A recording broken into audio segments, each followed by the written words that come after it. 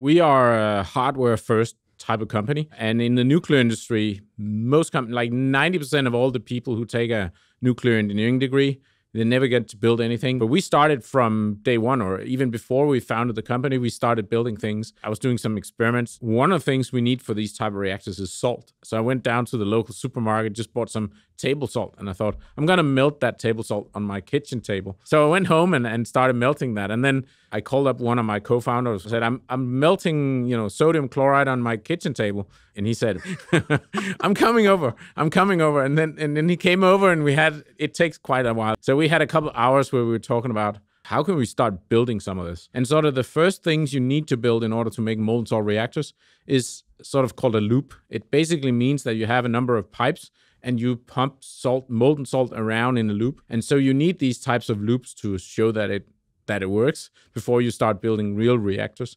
So we started 10 years ago building these loops, and now today we are the number one company in the world building those loops and selling them. I think we're the only company really selling those loops to universities and national labs around the world.